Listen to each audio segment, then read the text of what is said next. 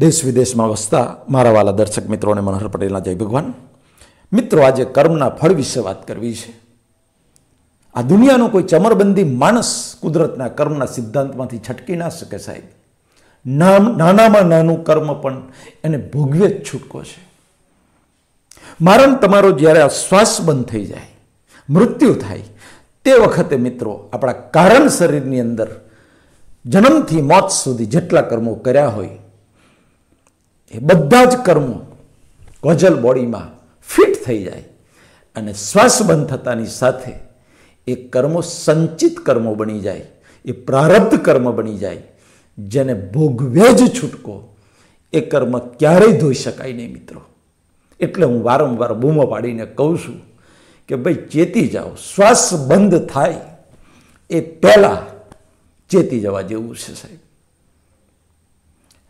પચીસો ત્રણ હજાર વર્ષ પહેલાંની સત્ય ઘટના એક તમને કહું. બરાબર, ધ્યાનથી સાંભળજો વિડીયોને, અંત સુધી સાંભળજો. એક કસાઈને ઘેર એક બાળકનો જન્મ થાય.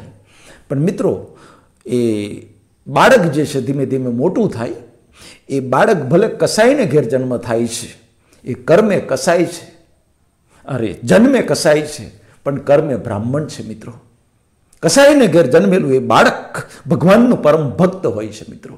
સમજણ આવે છે, ત્યારથી નદીમાં જાય, શાલિગ્રામ લાવે, શિવલિંગની પૂજા કરે, એનું શિવલિંગ બનાવે. મિત્રો, એટલું નહીં, એને જે બાપ દાદાનો કસાઈનો ધંધો હતો એ મોટો થાય એટલે એને ધંધો ધંધામાં જોડે બેસાડવા માંડ્યા. એના એના બાપ. તો એ વજન માટે પણ શાલિગ્રામ મૂકે, એની ભક્તિ જોઈ અને એના બાપને એમ થયું કે, મારે ઘેર હું કસાઈ અને કસાઈને ઘેર, મારે ઘેર. આવું બાળક, આ તો એવું થયું કે હિરના કશ્યપને જેમ ઘેર જેમ પ્રહલાદનો જન્મ થયેલો ને, એવી રીતે કસાઈને ઘેર એક ભક્તનો જન્મ થયો. સાહેબ, મોટો થયા પછી એને કસાઈનું જે ધંધો હતો, પોતાનું કર્મ હતું, કસાઈનું કર્મ, એમાં સહેજે એને આસક્તિ નહોતી. એ સહેજે ગમતું નહોતું એને મૂગા મૂગા પશુઓની, મૂગા જાનવરોની હત્યા કરવાનું ગમતું નહોતું. એટલે એક દિવસ સાહેબ કહેવાય છે કે એને નક્કી કર્યું કે દ્વારકા દર્શન માટે જવું, કૃષ્ણ ભગવાનના અને ઘર એને છોડી દીધું અને ઘર છોડી અને પગપાળા તે વખતે તો કદી હતું નહીં એટલે પગપાળા એ દ્વારકા જાય છે. અને દ્વારકા જાય છે ત્યારે સાહેબ, જે કંઈ પેલા પગપાળા સંઘ પહેલાં તો જતા હતા મંદિરોએ દર્શન કરવા માટે, કોઈ વ્હીકલ નહોતું. એટલે જે જે સંઘ જાય પગપાળા એની સાથે જોડાઈ જાય, ત્યાં ખાવા પીવાનું મળી રહે, કોઈ ગામમાં સંઘ રોકાય તો એ સંઘની સાથે રોકાય અને પહેલાં તો એવું હતું સાહેબ, જે જગ્યાએ સંઘ રોકાય, જે ગામમાં, એ ગામવાળા જમવાની વ્યવસ્થા કરે અને એ રીતે બધા સંઘો ભગવાનની દર્શન કરવા માટે જતા હતા. જે આજે એની પરંપરા આપણે ચાલુ રાખી છે અને ઘણા સંઘો આજે પણ ચાલતા જાય છે અને એના માટેના રસ્તા ઉપર ભંડારા પણ રાખવામાં આવે છે. બસ આ વાત મિત્રો, એક એવું ગામ આવ્યું, એ ગામની અંદર સાહેબ સદનો છૂટો પડી ગયો, કોઈ સંઘેને મળ્યો નહીં. એ એકલો હતો, અંધારું થઈ ગયું.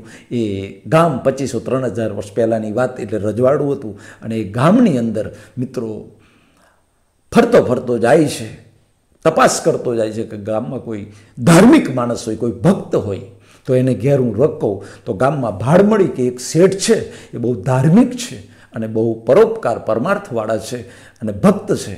એટલે સદનો ત્યાં જાય છે. અને શેઠ બહાર ગયા હોય છે, શેઠાની એકલા ઘેર હોય છે. અને તે વખતે શેઠાની એને આવકાર આપે છે. પૂછે છે કે ભાઈ, ભગત શેઠ કહી ગયા? તે કે, એ બહારગામ ગયા છે આપણે સાંજ પડશે એટલે આવશે.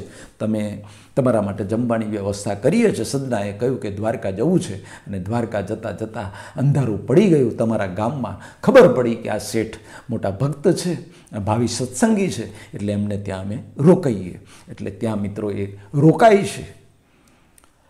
રાત્રે આઠ નવ વાગે શેઠ બહારથી આવે છે. શેઠ પણ ખુશ થઈ જાય છે કે આવો ભક્ત મારે ઘેર અતિથિ દેવો ભવો, આપણી સંસ્કૃતિ મહેમાન આવે અને ભગવાન માનો યાર. એ સંસ્કૃતિ આપણી અને એમાંય આ તો ભક્ત આવે એટલે સોનામાં સુગંધ પડી જાય. શેઠ ખુશ થઈ ગયા.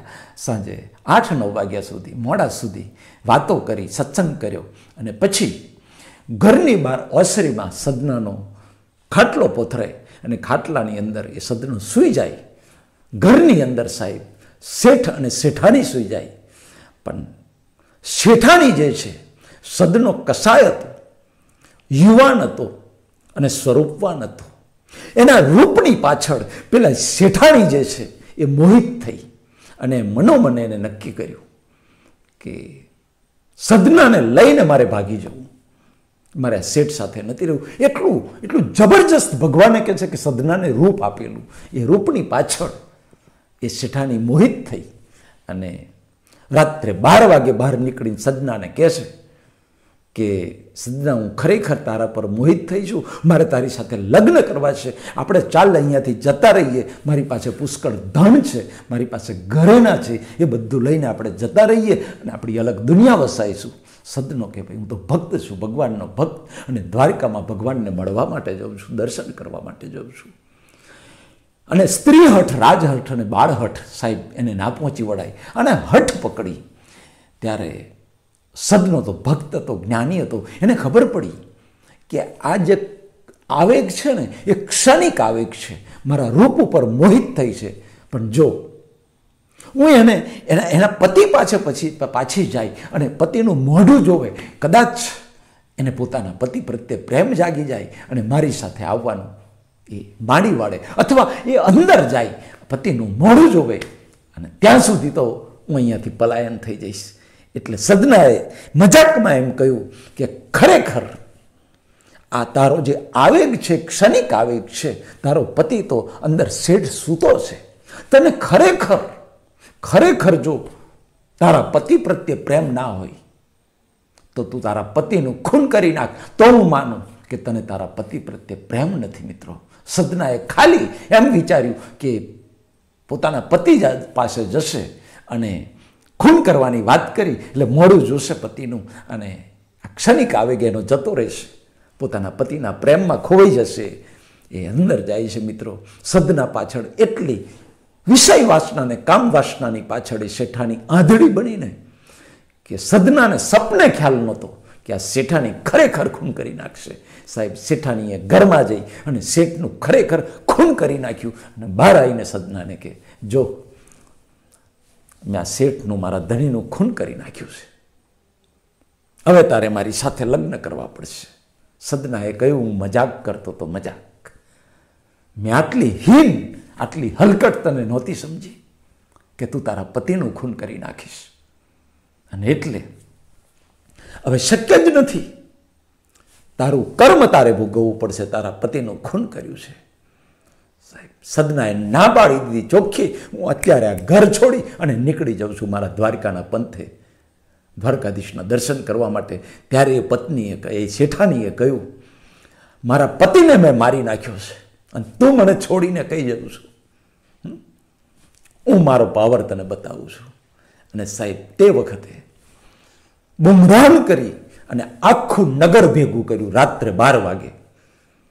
અને ખોટો આરોપ લગાયો કે આ સદનાએ મને બગાડી જવા માટે મારા ધનીનું ખૂન કરી નાખ્યું.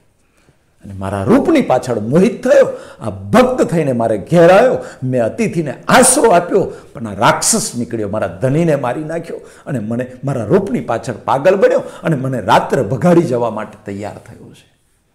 સાહેબ, આખો મામલો રજવાડું હતું. રાજા પાસે ગયો. સવારે રાજા ન્યાય આપે છે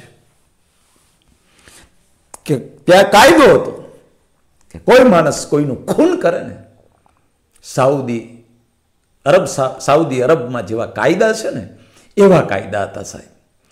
જે જે જે હાથથી ખૂન કરી નાખ્યું, એ સદનાના બંને હાથ કાપી નાખવામાં આવે. સાહેબ, રાજાએ સજા સંભળાઈ અને બંને હાથ જેમ સોલેમાં સંજીવ કુમારના કાપી નાખે છે ને ગબ્બર, એવી રીતે સાહેબ બંને હાથ રજવાડામાં તે વખતે રાજાએ કપાઈ નાખ્યા. સદનો ચોધારા સુએ રડે છે. ગુનેગાર નથી, હું નિર્દોષ છું. એક હું જાણું છું. એક શેઠાણી જાણે છે.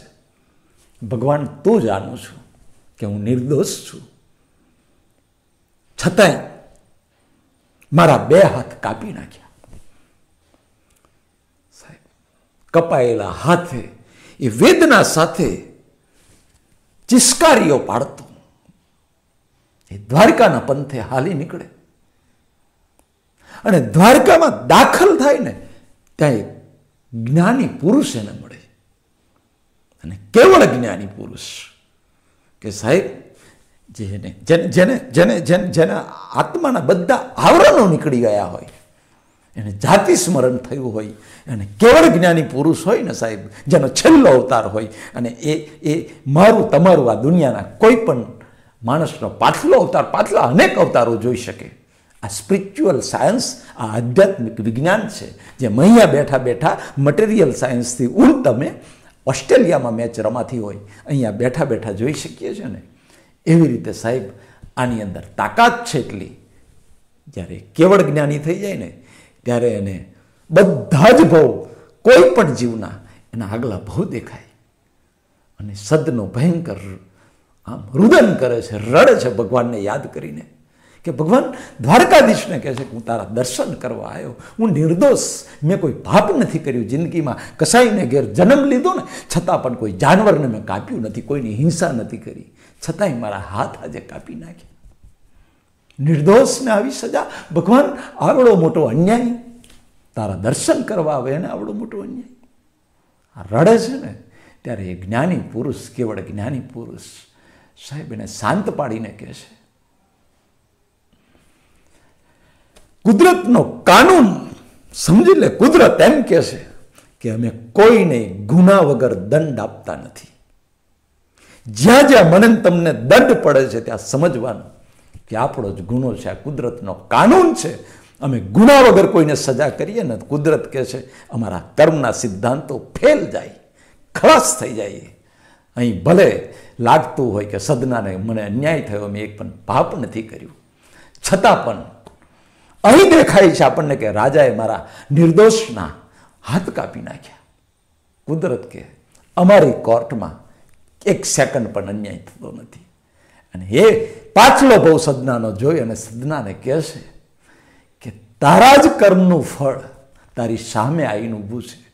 તારા બે હાથ જે કાપી નાખ્યા છે ને રાજાએ એ તારો જ રોપેલો બાવળિયો હતો ને, એ બાવળિયો આજે ઊંઘીને મોટો થયો ને, એના કાંટા આજે તે ખાધા છે. તારા જ રોપેલા બાવળિયાના કાંટા તારે ખાવા પડ્યા છે. એમાં રાજા ગુનેગાર નથી, એમાં કુદરત ગુનેગાર નથી.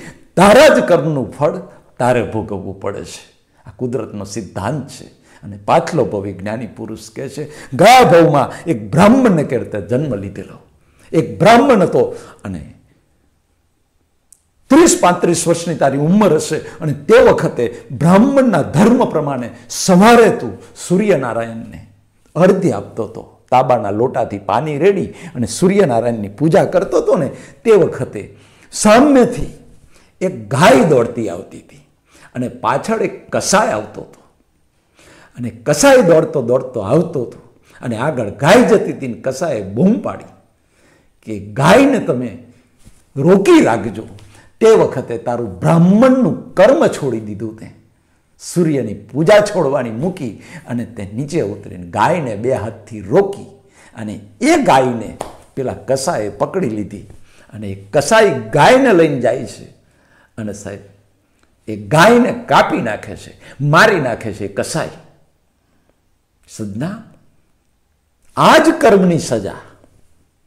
બે હાથથી તે ગાયને રોકી સાહેબ પછી સદનો કહે છે કે જે ગાય હતી ને એ આ ભાવમાં શેઠાની બની. પેલો જે કસાય હતો, એ કસાય આ ભાવની અંદર શેઠ બન્યો. શેઠ અને શેઠાની પતિ પત્ની. શેઠ એ પેલો કસાય છે અને શેઠાની એ ગાયનો અવતાર છે. અને તે બ્રાહ્મણ થઈ અને કસાઈનું કામ કર્યું. એટલે તને આ ભાવમાં કસાઈને ઘેર અમારે અવતાર આપવો પડે. કુદરતે તને અવતાર આપ્યો. કસાઈને ઘેર જન્મ લીધો. તારા બે હાથ કેમ કપાયા એ ખબર છે તને? આ બે હાથ વડે તે ગાયને રોકેલી. અને શેઠને જ મારી નાખ્યો કેમ શેઠાની એ ખબર છે? એ ગયા ભવની ગાય આ ભવની શેઠાણી હતી. અને ગયા ભવનો કસાઈ એ એનો ધણી શેઠ હતો. ગયા ભવમાં એ કસાઈએ ગાયને મારી નાખેલી. એનો બદલો લેવા માટે એની પત્ની બની. અને એ જ પત્નીએ, એ ગાય બનેલી પત્નીએ, ગાય ગાય ગાયાભાવમાં ગાય હતી એ પત્નીએ એ કસાઈવા રૂપી જે શેઠ હતો ને, એ શેઠને ખંજર મારીને ખૂન કરી નાખ્યું. અને સાહેબ કર્મનો બદલો વાળી લીધો. તારી ભૂલ એટલી કે તે બે હાથથી ગાયને રોકેલી. એ જ ગાય, એ જ શેઠાણીએ તે બે હાથથી ખાલી ગાયને રોકીને અને એને મરવું પડ્યું ને એટલે એ જ શેઠાણીએ તારા પર ખોટું આડ ચડાવી અને તારા બંને હાથ કપાવડાયા રાજા પાસે. અને તારા બંને હાથ એટલા માટે કપાયા કે બ્રાહ્મણને ઘેર અવતાર લીધેલો. અને કર્મ તે કસાઈનું કરેલું બંને હાથથી ગાયને રોકવાનું. એટલે કસાઈને ઘેર જન્મ લીધો અને આ બંને હાથ તારા એ શેઠાણીએ ઉડાડી દીધા. સાહેબ કર્મની ગતિ ગહન છે એટલે ભગવદ્ ગીતાની અંદર કૃષ્ણ ભગવાને અર્જુનને કહેવું પડ્યું કે અર્જુન તેરમા અધ્યાયમાં, અર્જુન, કર્મની ગતિ અતિ ગહન છે, અતિ ગૂઢ છે, મોટા મોટા જ્ઞાની પુરુષો પણ એની અંદર મુજાય છે મિત્રો. આ કર્મનો સિદ્ધાંત જે ખુલ્લો કર્યો છે ને ભગવદ્ ગીતાની અંદર એક સરળ ભાષામાં, ગામઠી ભાષામાં દ્રષ્ટાંતો સાથે, સાહેબ, ફરી કહું છું, દરેક વિડીયોમાં કહું છું ને આજે કહું છું અધિક માસના પહેલા દિવસ પહેલા જ દિવસથી રોજ સાંજે સાત વાગે ભગવદ્ ગીતાનું ગૂઢ રહસ્ય ખુલ્લું કરવાનું, એના વીડિયો મુકાશે. સાહીઠ દિવસ સુધી, સાહીઠ દિવસ સુધી રોજ સાંજે સાત વાગે. ચેનલને સબસ્ક્રાઈબ કરી લેજો. તમારે મારા સબસ્ક્રાઈબર વધારવા માટે કે વ્યૂ વધારવા માટે નથી કહેતો સાહેબ? મનહરભાઈની એક જ ભાવના છે કે જે જ્ઞાન મને મળ્યું છે, જે સુખ હું પામ્યો છું આદિ વ્યાધિને ઉપાધિમાં સમાધિનો અનુભવ જે મેં કર્યો છે સાહેબ, હું જે રિલેક્સ થયો છું, હું ટેન્શન મુક્ત થયો છું. ભય અને ભીખ મારામાંથી નીકળી ગઈ છે સાહેબ. એટલે હું કહું છું ઘણી વાર કે હું હાથને મારા ફેલાવું તો માલિક તારી ખુદાઈ દૂર નથી, પણ હું માગું ને પછી તું આપે એ વાત મને મંજૂર નથી. સાહેબ, મનહરભાઈ, આજ સુધી કોઈની સામે હાથ લાભો નથી કર્યો. કુદરતે નથી કરવા દીધો. ભયંકર ગરીબીમાં પણ કોઈની પાસે મરચુંને રોટલો ખાઈને સૂઈ રહ્યો છું, પણ હાથ નથી લાંબો કર્યો. કેમ? મનહરભાઈ માત્ર આપવા માટે આવ્યા છે. મારો ભાવ એટલો જ છે કે આ ગુડ રહસ્ય સાહેબ સમયના વેનમાં ખલાસ થઈ જાય ને.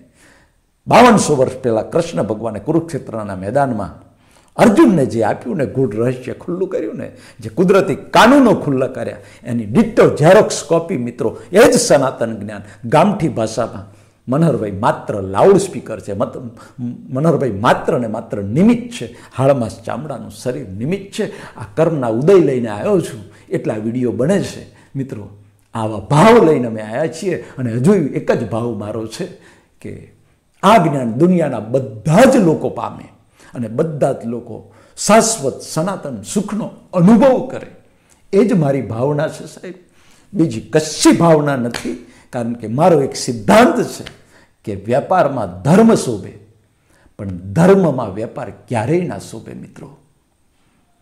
ધર્મના નામે જ્યાં પૈસો લેવાતો હોય ને, ત્યાંથી પગથિયા ઉતરી જજો. આખી જિંદગી પગથિયા ઘસીને મરી જશો ને.